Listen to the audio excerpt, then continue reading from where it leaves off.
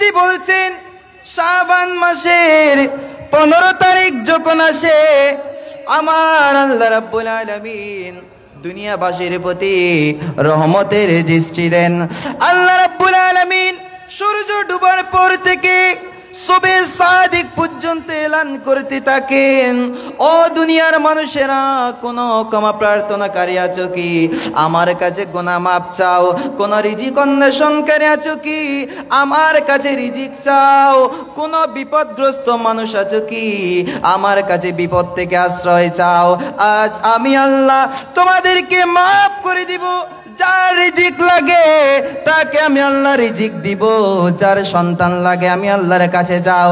আমি আল্লাহ সন্তান দিব, যে বিপদের মধ্যে পড়েছে, আমি আল্লাহর কাছে আশ্রয় চাও।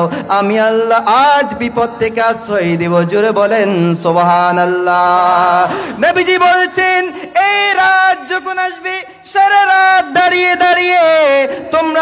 ইবাদত করবা, পরদিন তোমরা রোজা রাখবা।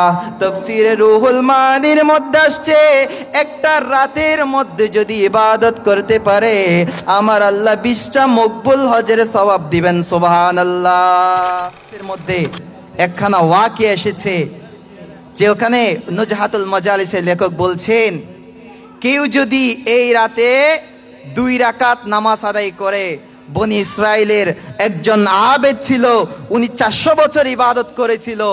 ওই দুই রাকাত নামাজ পড়ার কারণে আমার আল্লাহ ওই আবেদ চারশো বছর ইবাদত করে যে সব পেয়েছে, এই দুই রাকাতের কারণে আমাদেরকে আরও বেশি সব দিবেন। জুড়ে বলেন না সুবহান আল্লাহ আল্লাহর নবী হজরত ইসলাম পাহাড়ের উপর দিয়ে একদিন হাঁটছিলেন।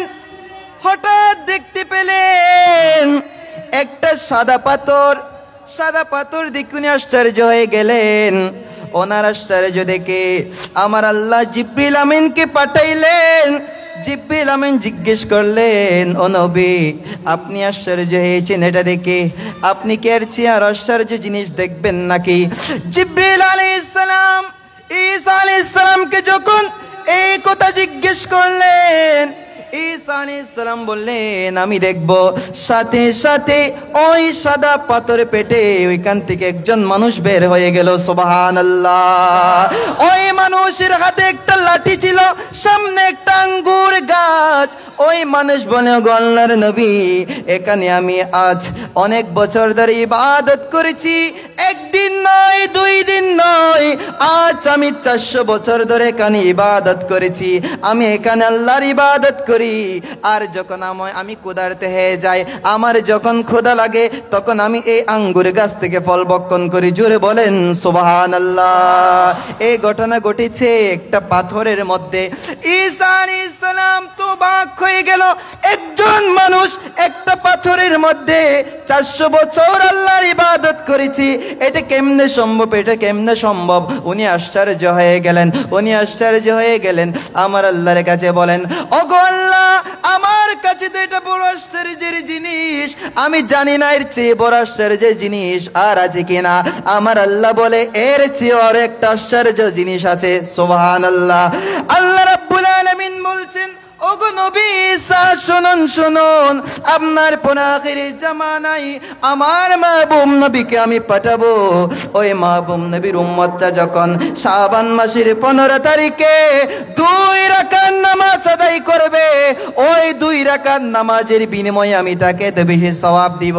এই আবেদ চারশো বছর নামাজ পড়ার কারণে যে সওয়াব পেয়েছে, আমার মাহবুব নবীর উম্মত দুই রাকাত নামাজ পড়ার কারণে চেয়ে আরও বেশি सौ सुबह अल्लाह